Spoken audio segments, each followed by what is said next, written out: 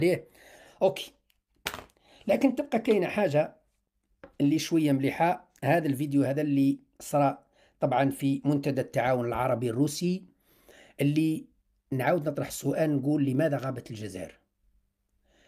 المنتدى العربي الروسي في الرباط أو في آه نظن في الدار البيضاء ولا في الرباط داروه. المهم في المغرب غابت عنه الجزائر. لماذا؟ لأننا قاطعين علاقات مع المغرب. هذا ليس مبرر. المغرب هي حضرت. في القمة تاع السلم في الوهران حضروا. لكن هذا موضوع آخر بعد كنا. لافروف يهين وزير الخارجية المغربي بوريطة في عقر دارو ويتكلم يقول له تقرير مصير الصحراء الغربية. كلام مهم ومهم جدا. اسمعوا. طرقناها خلال الاجتماع الندوة الروسي العربي وناقشناها على المستوى الثنائي. الآن وناقشنا القضايا الملفات الإقليمية والدولية ونحن نؤيد الدور المركزي للحق جميع الدول. قدام وطويلة نعمل آلية العمل والتنسيق المهم أن وصلنا إلى النتائج الملموسة. المهم الفيديو راهو موجود باش ما يحبسوناش اللايف. آه أنه وزير الخارجية الروسي لافروف يتكلم على تقرير المصير للشعب الصحراوي واحترام قوانين الأمم المتحدة وبنود واتفاقيات وكذا وكذا وكذا من المغرب. السؤال مطروح هل موقف وزير الخارجية الروسي يعني جاء في سياق الدفاع عن الشعب الصحراوي وإرضاء الجزائر؟ الجواب لا. لا. لافروف تعمد لافروف تعمد إهانة المغرب والتركيز على الصحراء الغربية كرد كرد على موقف المغرب من الحرب في أوكرانيا. لأن المغرب وقف مع أوكرانيا ضد روسيا. إذا جات فرصة لروسيا ولافروف أنه يرد الصعصعين ويعطيهم كف. قال أنتم دخلتوا في الشأن الداخلي اللي ما بيننا وما بين أوكرانيا اللي هي جمهورية من جمهوريات الاتحاد السوفيتي. ومشكل داخلي ودخلتوا رواحكم وبعثتوا عناصر من المرتزقة تاعكم يشاركوا في حرب مع أوكرانيا ضد روسيا. إذا نحن كروسيا نهينكم في عقر داركم. ونشلحوا لكم بنطلون في داركم ونقول لكم بلي الصحراء الغربية قضية تقرير مصير. هذه الحقيقة. ما لازمش واحد يقول آه والله داروها مليحه للشعب الصحراوي والجزائر لا. ما دارهاش على الجزائر لا على الصحراء الغربية. ما على بالوش بيك. والله ما على بالو بيك. دارها رد اعتبار لروسيا. لأنه المغرب وقفت مع أوكرانيا ضد روسيا. هذا هو المنطق اللي لازم نقتنعوا به ولازم ما نحشوش لبعضنا بعض. ما لازمش نكذبوا على بعضنا بعض ونقولوا باللي روسيا حليف استراتيجي. لا حليف استراتيجي لا خرشف لا كابويا دراهمنا هما اللي خلاونا حلفاء روح قول لهم ما نشوفش عليكم السلاح إلا يمشوا معاك. قسم بالله ما يمشوا معاك طحاحنا تحبس عليهم. شراء الأسلحة تروح تدور تشري الأسلحة من الهند ولا تشري من بريطانيا ولا من أمريكا قسم بالله ما يقول لك صباح الخير. قسما بالله ما يقول لك صباح الخير. ما كانش ما كانش حلفاء استراتيجيين. الحليف الاستراتيجي هو الشعب.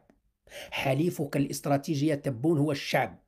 لازمك توقف مع شعبك وشعبك يوقف معك حتى تستطيع أن تتصدى لهذه المؤامرات. مؤامرات المغرب مؤامرات فرنسا مؤامرات الإمارات مؤامرات مالي مؤامرات النيجر ومؤامرات كثيرة. والقادم أسوأ. رايحين يشرشعونا ورايحين يقطعونا ورايحين ينحونا كما يقول لك الناس الجلد على اللحم. ادوها من عندي. أنا قلت لكم راني مثل ما أنا مؤمن بأنه الله أحد لا شريك له. أنا مؤمن أن الحرب ستقوم في الصحراء. راح تنوض حرب. وبرنامج ومخطط وفكرة وأمنية وحلم شارل ديغول ما زال قائم بالنسبة لفرنسا وأذنابها. تقسيم الصحراء ما زال حلم الاستعمار الفرنسي وحلم أعدائنا. هذا التطور اللي صار في مالي هو بداية لأزمة كبيرة وكبيرة جدا ستشهدها المنطقة. نعم. للأسف الشديد إحنا أعطيناهم فرصة. للأسف الشديد إحنا أعطيناهم فرصة. نعم أعطيناهم فرصة.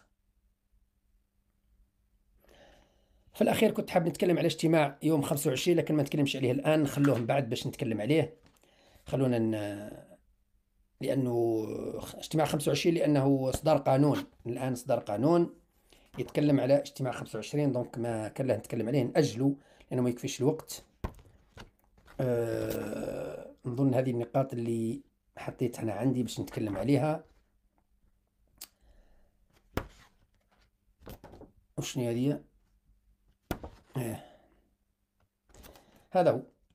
هذا هو الموضوع الأساسي وهو أنه أنا بالنسبة لي كاين مسلمات كاين أمور مسلمات يعني لازم تآمن بها التطور الحاصل في المنطقة وهذا هي الغليان في مالي والغليان في النيجر والأزواد وخروج القوات الفرنسية وكذا كلها مؤشرات. مؤشرات خطيرة وخطيرة جدا على قيام حرب في المنطقة. مالي تستغل الذهب الإمارات تستغل الذهب في دارفور في السودان وتستغل الذهب في شمال مالي والذهب اللي تستغله الإمارات ما تديش الإمارات وحدها. إمارات الذهب اللي تستغله أطنان من الذهب اللي تستغلهم تتقاسمهم مع فرنسا وأمريكا. نعم. مع فرنسا وأمريكا كي نقول تقاسمهم مش تعطيهم باطل يعني تبيع لهم ولكن بأسعار زاهدة يعني المخزون الاستراتيجي الإماراتي من الذهب تتقاسمه مع فرنسا ومع أمريكا. باش تكونوا فاهمين. استغلال هذه الثروات في من السودان. أنا دائما نقول لكم باللي الأزمة من السودان إلى موريتانيا. مرورا بتشاد النيجر مالي السنغال موريتانيا هذه كلها هذا ما يسمى بشريط الساحل والصحراء. طبعا مع صحراء ليبيا وصحراء الجزائر اللي هي أهم منطقة أهم منطقة بالنسبة للاستعمار القديم فرنسا وأذنابه من للأسف الشديد أشقائنا ل خليها ربي. الإمارات والمغرب ينفذون الأجندة التي عجز عن تنفيذها الاستعمار الفرنسي وما فشل ديغول في تحقيقه يسعى محمد بن زايد ومحمد وهذا يا محمد السادس لتنفيذه السؤال مطروح هل نحن مستعدون للحرب؟ هل نحن مستعدون للحرب؟ هل جبهتنا الداخلية موحدة وقوية؟ هل نحن على توافق واتفاق؟ هل نحن محضرين أنفسنا؟ أكتفي بهذا القدر على أمل اللقاء معكم في موعد قادم بإذن الله ألقاكم بخير السلام عليكم ورحمة الله تعالى وبركاته